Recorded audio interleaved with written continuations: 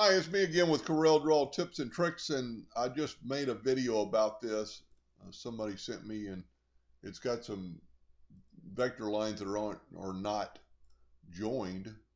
And as you can see, I just changed one of them to red, and by doing that, it left the ones that aren't joined in black. So I'm gonna, hopefully this will be a little short video. I'm gonna show how to do this a different way, and then I'm basically doing this for this one viewer. This thing has a lot, a lot of nodes, and we need to get rid of some of those nodes. So I'm going to click on the black line and hold down the shift key, click on the other black line, click on those black lines, and then click on my red line, and I'm going to go up to arrange and I'm going to go combine. What that did, it put them all together. Now I'm going to put my nudge factor on back on 15, like on the previous video and I'm going to click on the red and you can see it did the same thing as the weld tool. Now, I'm going to have to cursor over to get it off the page. Let's look at the look at the nodes. There are 21,231 nodes. That's I've never seen anything even close to that. So one way to get rid of a lot of the nodes, and this particular person does have X19. Uh, I, I have it, but I don't have it for the making a video. So you could use the smoothing tool.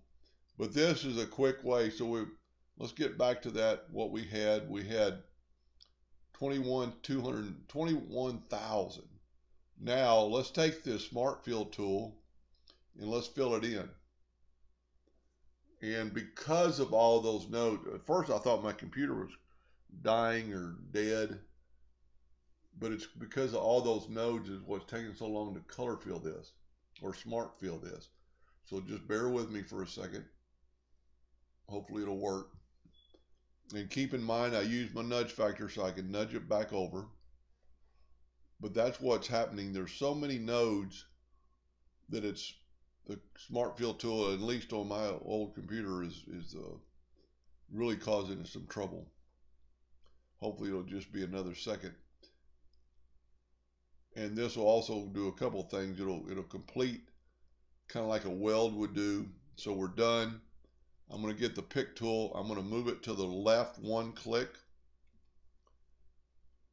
And let's take away the fill and put an outline. Now we took the nodes from 21,231 down to 155 nodes, which is still a lot of nodes, but that would be a lot better. So then you could put this back and that will cut much, much better. And he's still got these other problems on the inside, but I'm not going to take your time to do that. Anyway, hope that helped a little bit. Thank you for watching.